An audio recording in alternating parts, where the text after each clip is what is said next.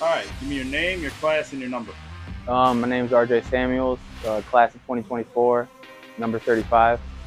All right, RJ, first year as a starter, you moved up from, from a reserve to a starting position on defense, playing outside linebacker.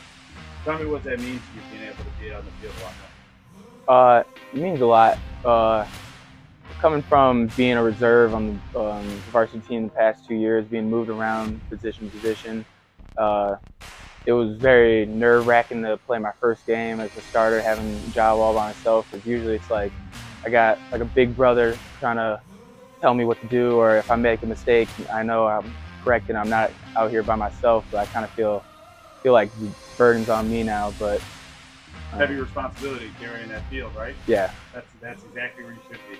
Feel that responsibility and perform off of it. Uh, new program this year, uh, Guardians. Uh, being a senior on the on the varsity squad, a representative as a guardian.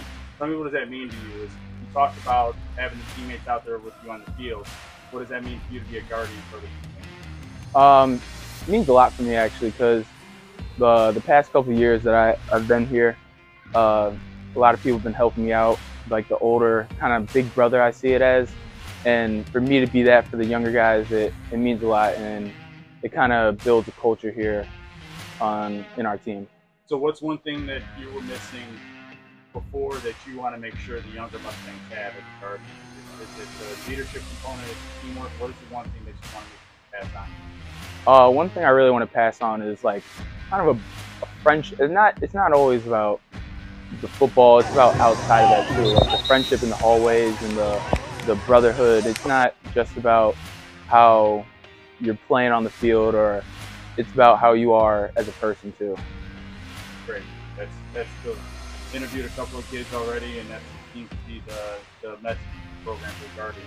Make sure that you're passing on that camaraderie and you guys build a relationship. Um, obviously, big wrestler, uh, part of the Illinois national team over the summer. Uh, talk about what wrestling's helped you with for your life, for your goals, what you've learned from the wins and from the losses in wrestling. Uh, life is just just a really hard sport. You know, it's just really hard to go out there and try to beat somebody one on one every day and getting your your butt whooped and uh, I don't know. It's like a it's a changes your mindset. Changes your mindset on a lot of things. Makes you a tougher human. Um, I don't know. I just love it. Oh, that's good. Uh, so, talk about what your accomplishments were in wrestling uh, in over the course of the past year. It looks like you had a really good year. Talk about your, your accomplishments on that. Um, over the past year, during the season, uh, I won regionals.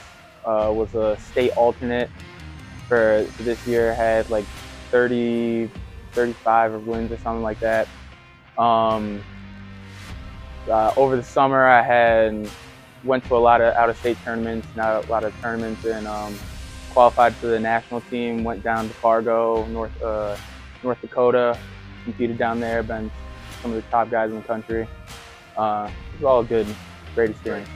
Great experience. I'm sure you bring a lot with you football side. All right, former Panther. How old were you when you started playing football? Uh, I don't even know, like six, seven. Six. What was that like back there to play for them? What were your coaches like back when you were football? Was that maybe your favorite coach you ever had in your entire football career? It's okay to say. Uh, I don't know, it might be, but um, it was it was awesome. It was just running around, having fun, not worrying about all these intricate plays, but there's just a it was a lot of having fun with my friends on the field. So I a love lot that. of fun coaching you that year, RJ. Wish you could have done it for a lot longer. Uh, senior year, got a few more months to be able to enjoy that. What are the plans after you're done with high school? Do you have any dreams or aspirations yet? Or are you still building them? uh, I'm looking at wrestling in college, so um, kind of still trying to figure out what school I want to go to, but that's what I'm looking forward to. That's awesome. RJ, have a great season. Thanks for stepping in with us, and we'll see you out on the football field.